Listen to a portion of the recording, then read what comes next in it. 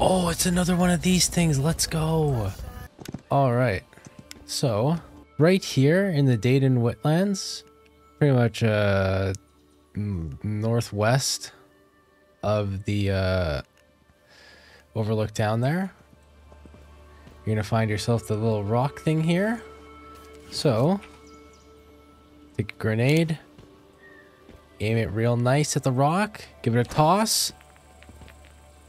Boom! Alright, what do we got? Tool crate.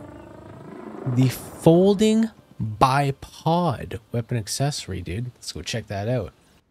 Alright, so the folding bipod is a tactical attachment for the AKM and SCAR series weapons, and it gives a weapon boost of accuracy plus 11, stability of plus 16, and a mobility of negative 20. So you're kind of trading off the stability and accuracy for less mobility, but it is what it is. It is a bipod after all.